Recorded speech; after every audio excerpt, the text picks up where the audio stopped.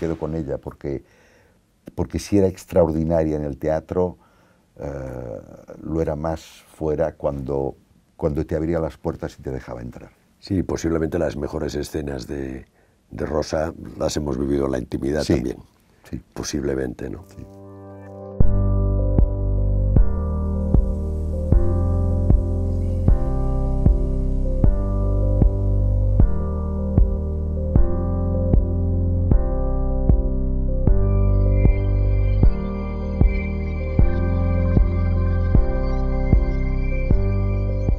Rosa y María era ese monólogo, se llamaba María, que era de una, de una mujer que moría de cáncer uh, y se lo contaba al público. En ese momento hay que recordar que la palabra cáncer ni siquiera se pronunciaba. La gente decía en Cataluña, té un mal dolent. Sí. Uh, Como no, si hubiera no, algún mal bon, ¿no? Exacto. Sí. No, no, no, ni siquiera se pronunciaba. Es decir, él, él se atrevió a hacer eso y luego, como quedaba corto, Eh, porque en ese momento no podías dar una, un espectáculo de una hora porque te, echaban, te quemaban el teatro, dijimos, bueno, vamos a inventarnos una primera parte con tu otro lado, tu otro lado más, más, más cabantero. Bueno, ensayamos unos números, había un, un trocito de, de una película de Fellini, había um, una canción de Bertolt Brecht. Un día yo dije, bueno, eso hay que atarlo de alguna manera porque son números sueltos. Hay que medirlo, vamos a medir el tiempo que necesitamos.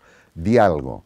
Y me dijo, ¿qué digo? Digo, pues no lo sé, habla de tu vida, háblame de ti, de, luego, luego ya inventaremos otro texto, pero de momento para cronometrar. Y empezó a hablar y el eléctrico se meaba de la risa, yo no podía soportar porque estaba matado de la risa también de lo que contaba y le dije, pues hay que contar esto. Me dijo, no, yo no puedo, yo no puedo hablar de mis tíos, de mi, de mi tía, de mis primos. Digo, pero sí, pero, pero, pero es eso lo que, lo que tenemos que hacer. Y realmente fue eso. Rosa era un, una cara y María era la, la, otra cara, porque tenía esa, esa vena cómica que ella decía siempre, yo no salgo a hacer reír, yo no quiero hacer reír, yo digo las cosas en serio, como las pienso, lo que pasa es que eso a la gente le hace gracia. Y luego tenía, cuando, cuando arrancaba la raíz dramática, era de una potencia absoluta. Me emociono, que no debería, pero sí.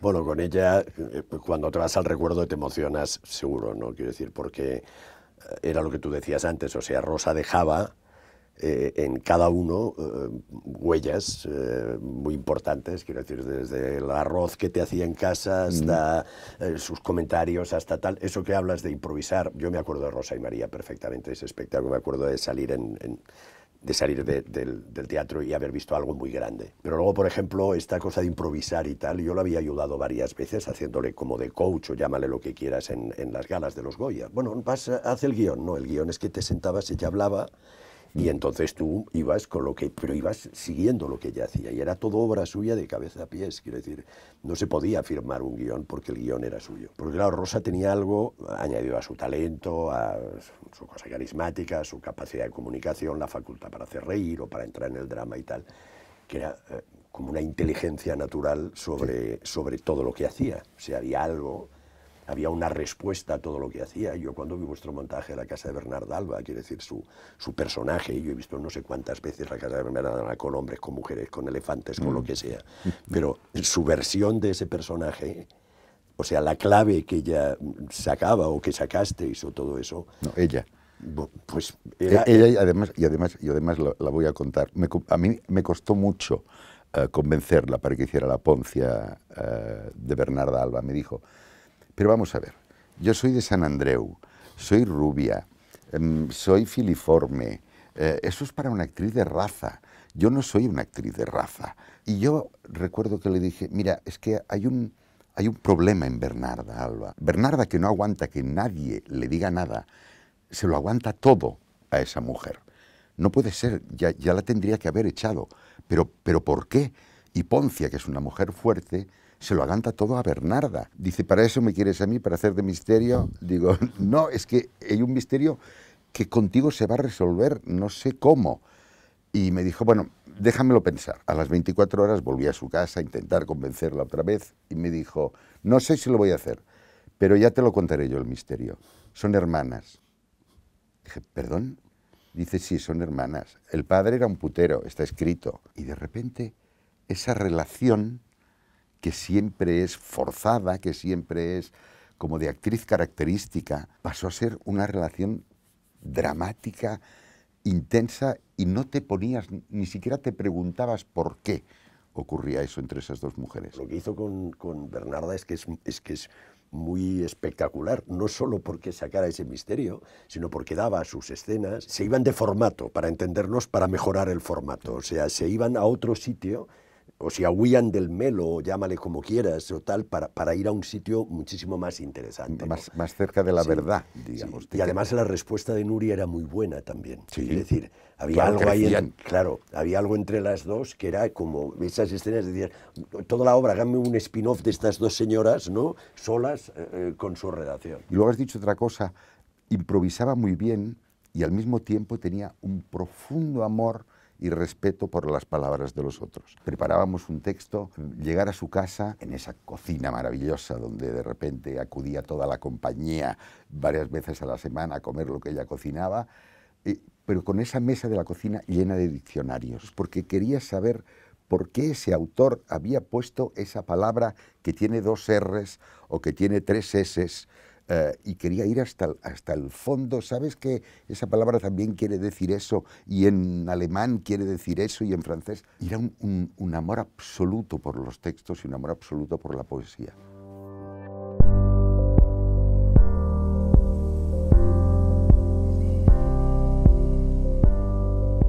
Y una cosa de humanidad especial, muy especial. Muy especial. Muy especial, porque, claro, sí, Rosa no era una persona que cayera excepcionalmente bien a unos fans que iban a pedirle un autógrafo a una señora, es que te he visto no sé dónde al revés, eh, quiere decir, tira, es muy celosa de su intimidad. Partiendo de donde estaba, cómo construyó su vida hasta ser Rosa María Sarda. O sea, creo que hay todo un trabajo de inteligencia, de intuición, de voluntad, de, de, eso, ¿no? Como tú dices, de, ver el texto, de ver las R's, pero de ver las R's de la vida hasta llegar a eso que consiguió, que es ser una persona única, ¿no? Quiere decir que eso es muy difícil. Tampoco lo tenía tan fácil. No, no, no, ella venía de un barrio de Barcelona, hizo de, de, madre de sus hermanos, porque su madre murió cuando Rosa era muy joven.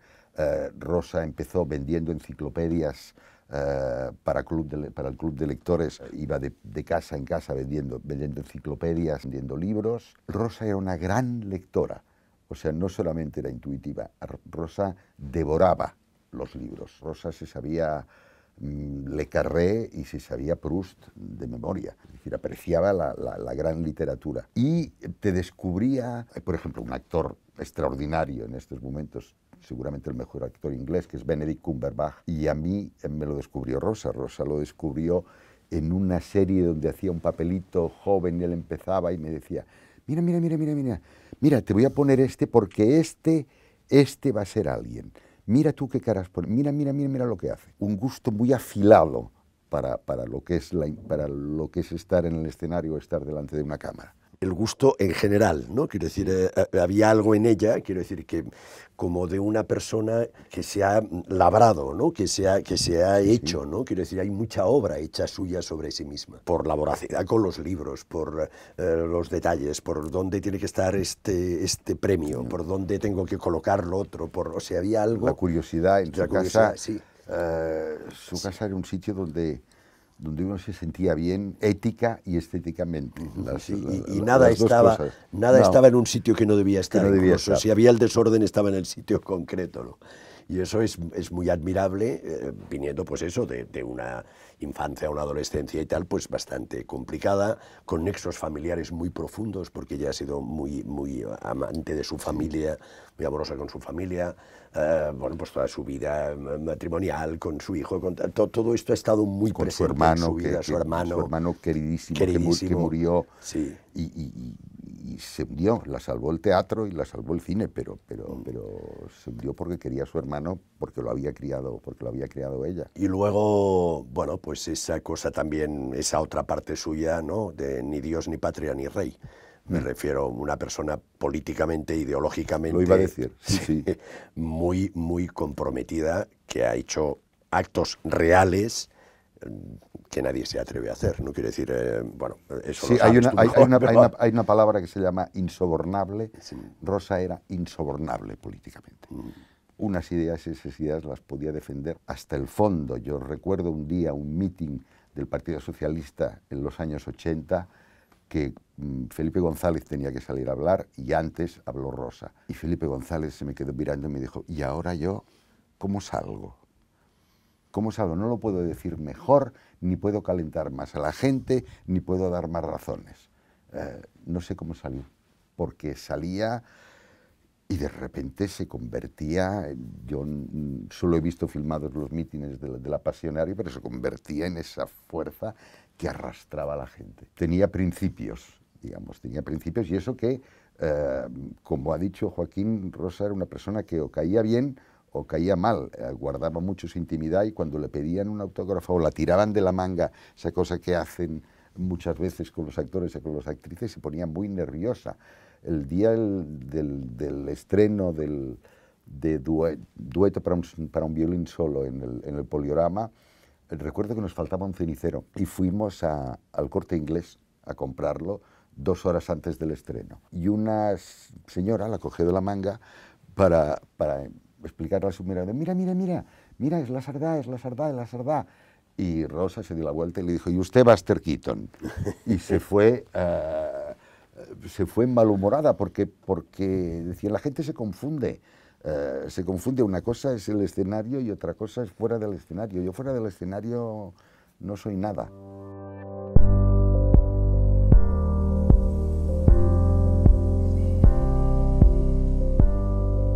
Luego eso, ¿no? Quiero decir que eh, Rosa ha recibido todos los premios habidos y por haber, yo creo, que se pueden dar, ¿no? Pero ha rechazado algún premio por su condición de republicana o por su condición o de pronto ha devuelto pues eh, La Creu de Sant Jordi. la Creu de Sant Jordi pues porque la deriva independentista por llamarlo como lo llaman mucha gente pues ella no, estaba de acuerdo y entonces no estaba de acuerdo con todo lo que había ahí detrás Es Y porque decir, se le había dado un corrupto, dijo sí ella. exacto totalmente claro Adiós Jordi Pujol dijo, Sí. este señor se ha demostrado que es un corrupto. Pues, eh, por lo tanto no. Pero quiere decir que luchó mucho contra corriente, quiere decir como, como otra gente. Y, y, bueno, porque era Rosa María Sardá y estaba encima de un pedestal muy grande que era imposible eh, con el cincel que fuera romperlo, pero eh, se la podía haber jugado y se la jugaba mucho, ¿no? Quiere decir, pero no lo hacía por jugársela, lo hacía por pura, bueno, pues por eso, por, por, por, por pura ideología, por puro sentimiento, por pura honradez, por pura honestidad. por pura honradez. Y eso también es algo que impresiona mucho, ¿no? Quiere decir que dices, no, vamos, eso, eh, eh, eh, eso es único. O sea, Rosa ha sido Rosa a pesar de Rosa. Yo recuerdo la, la- la rueda de prensa de Bernarda, esas ruedas de prensa en que nadie pregunta nada y después te van a hacer la entrevista ah, porque quieren una novedad que uno no tiene. Y la periodista le, digo, le dice, después podría, podría hacerle... Sí, sí, sí, sí, cariño, sí. Termina la rueda de prensa, se sienta Rosa, ah, se sienta la periodista, dice, bueno, vam- vamos a empezar. Ah, le hace una pregunta y dice, perdón, ¿de qué, ¿de qué periódico me has dicho que eras? Dice, del mundo. dice, ah, no. Y se levantó y se fue. O sea, que, que, que Sí, sí, sí. Rosa ha sido Rosa a veces a pesar de, de- de- de- de- de unas cosas que le jugaban en contra, pero que eran puertas para Rosa infranqueables. Esa, esa, esa línea roja no se pasaba. Ella, por ejemplo, tenía ese compromiso que tuvo, que, que llegó a a comprometerse de verdad con el tema del Polisario y con el tema Sí. de, de- quiero decir que, Del Sáhara. del Sáhara y de todo eso. Yo tengo la experiencia de haber estado con ella en el Festival de, De Sáhara. cine del Sáhara, que compartimos, Jaima, que bueno, Jaima, compartimos donde nos pusieron, Fernando Colomo, mi hijo mayor, Rosa y yo. Y estuvimos tres días tirados ahí en la arena, eh, asistiendo al festival. Y claro, en esas condiciones también es donde ves a una persona, porque claro, allí todos estábamos, evidentemente esa gente nos ofrecía todo lo mejor que tenían, pero tú tenías cada día una botella de agua fombella medio llena para ducharte. Te ibas a un sitio y te duchabas y así nos duchábamos todos, quiero decir. Entonces ella, su capacidad para relacionarse con la gente que estaba ahí, con los niños, con las niñas, con Pues es una cosa, yo fueron tres días muy insólitos de ver a Rosa en, en, otra historia. es como si se hubiera ido a su infancia o no sé dónde se fue, pero la Rosa que yo vi, que aparte mi hijo y ella hicieron migas y se estaban riendo todo el rato de Colomo y de mí, quiero decir, porque tropezábamos por los sitios y estábamos como de mayores, ya en aquel momento. Era otra imagen, ¿no? Quiero decir que había muchas caras de ella y, y esa capacidad también de adaptarse a cada sitio, ¿no? Era muy, muy, era muy exigente, pero era muy permeable a los sitios. Por eso entiendo que acabara haciendo una poncia, o por eso entiendo que pudiera estar en El Caballero de Olmedo, o por eso entiendo que pudierais pasar de Rosa María, o que pasara por todos los papeles que pasaba. ¿no? También tenía una capacidad para eso. En la vida tengo la sensación. Y ese compromiso eh, era consecuente. Quiero decir que, que, Rosa se llevó a una niña eh, del, del Sáhara y la trajo a su... Rosa amaba enormemente eh, su soledad. Eh, al mismo tiempo no le gustaba estar sola, pero amaba enormemente su independencia y su soledad. Y sin embargo, se trajo a una niña del Sáhara em, que estuvo con ella hasta el final, una niña que, que, hizo una carrera universitaria, eh, que, se crió en, que se crió en su casa, quiero decir que era consecuente, porque, porque mucha gente que somos sensibles a eso, pero o no podemos o, nos impedimos dar el paso. Rosa no se impidió dar el paso, Rosa no se impedía dar el paso. Vencía el miedo y no es que no lo tuviera, lo tenía, pero lo vencía.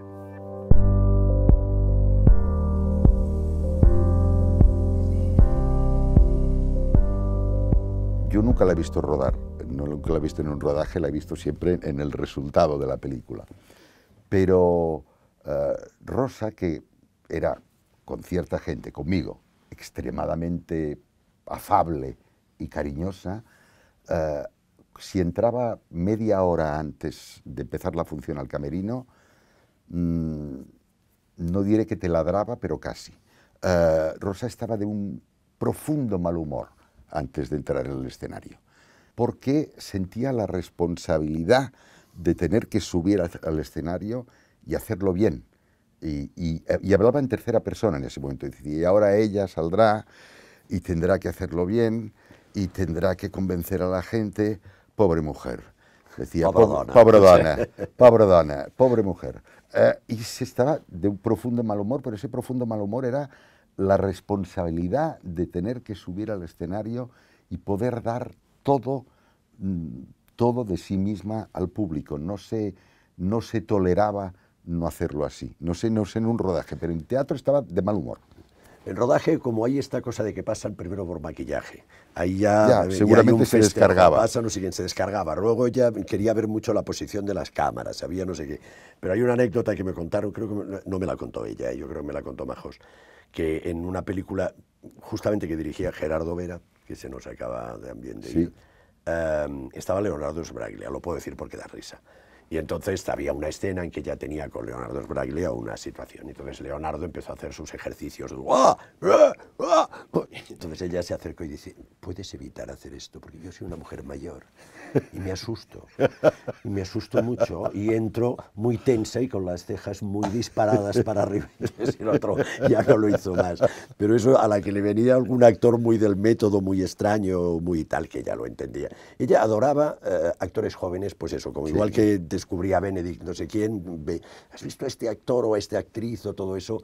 Me dijo, ¿quién fue que me lo contó? Verónica, creo, en esta última película que hicieron juntas en Canarias, Verónica Forqué, que se enamoró de Ingrid García Johnson. Y también ella le hacía mucha gracia a Ingrid y entonces, bueno, seguía eso, quiere decir, seguía hasta donde su salud se lo permitía, porque ya en este último rodaje estaba, estaba... estaba muy mal. Quiere decir que el rodaje estuvo muy cansada, pero se alimentaba de la gente joven que había alrededor. Admiraba, cuando admiraba a alguien de un reparto, era, un, era, una, era, una bendición. Y sobre todo en sus mejores tiempos, pues eh, participaba de la fiesta, ¿no? Tenía esta otra parte también un poco gamberra, que era divertido estar con ella hasta las tantas de la madrugada, jajaja, jiji, y, era súper divertido. Esas noches únicas. Eh, decir que, bueno, que cubría, cubría todas las facetas que tú puedas necesitar en tu vida profesional y afectiva, ¿no? O sea, cubría todos los roles. Y Rosa ha sido Rosa porque la gente, las personas, anónimas, nosotros mm, la hemos querido mucho, pero la gente anónima también la ha querido mucho. En el escenario y en el cine, siendo muy singular, era una persona muy cercana, eh, una persona llena de sentimientos y los sentimientos son los que más acercan a, las personas y eso se notaba, se notaba siempre en cualquier interpretación, esa, esa, humanidad, eh, la gente la recibía, ese calor que llegaba desde el escenario. Ya sé que son palabras que parecen gastadas, pero en el caso, en el caso de Rosa son, son esas. La gran obra que hizo se llamaba Rosa María Sardá. Su gran producto, perdón por la palabra, eh, se llamaba Rosa María Sardá. Por suerte, como, como, Joaquín tuvimos la suerte de estar en esa mesa de la cocina, me quedo con ella porque, porque si era extraordinaria en el teatro, eh, lo era más fuera cuando, cuando te abría las puertas y te dejaba entrar. Y como tuvimos esa suerte, mm. eh, pues entramos en ese, en ese jardín tan, tan, tan privado y tan íntimo y eso, eso lo, llevas, lo llevas para siempre. Sí, posiblemente las mejores escenas de, de Rosa las hemos vivido en la intimidad también. Sí. Posiblemente, ¿no? Sí.